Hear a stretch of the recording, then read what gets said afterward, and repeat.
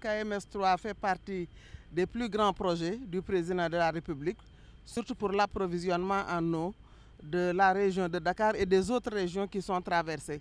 Et je voudrais m'en réjouir parce que ce n'était pas une petite affaire et ce n'était pas évident également.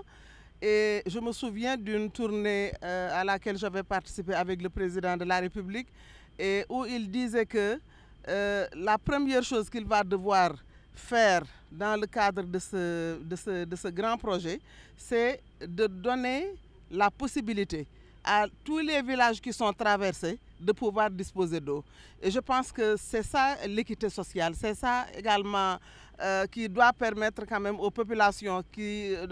d'où vient l'eau de pouvoir donc bénéficier de cette, de cette eau si précieuse. Et je pense que ça permettra donc d'alimenter en eau les zones qui sont traversées, mais également il y a d'autres projets euh, comme le dessalement de l'eau de mer et tout. Je pense que dans, dans le domaine de l'eau, le président de la République a assuré il a marqué son empreinte, de son empreinte vraiment euh, ce programme donc pour le ravitaillement en eau de tout le pays. Et pour avoir été également plusieurs fois sur le terrain avec les autres programmes euh, de forage à travers toutes les régions avec le PUDC et avec d'autres projets également, des projets d'élevage. Je prends l'exemple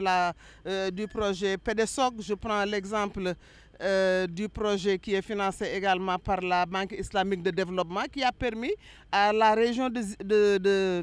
Tambacounda, à la région également de Kédougou, de bénéficier de beaucoup de forages qui ont pu permettre aujourd'hui aux populations de bénéficier d'eau. Je pense que cela est extrêmement important. Féliciter tous les ministres de l'hydraulique qui se sont succédés dans le cadre donc de la mise en œuvre de ce projet, mais plus particulièrement le ministre Baycham qui a eu à terminer aujourd'hui ce projet. Je sais que ce n'est même pas terminé parce qu'au fur et à mesure que les choses vont se passer, il y aura d'autres réalisations qui vont se faire, mais en tout cas, je félicite très chaleureusement Serine Baycham pour euh, la rapidité avec laquelle euh, nous avons pu donc finaliser cela.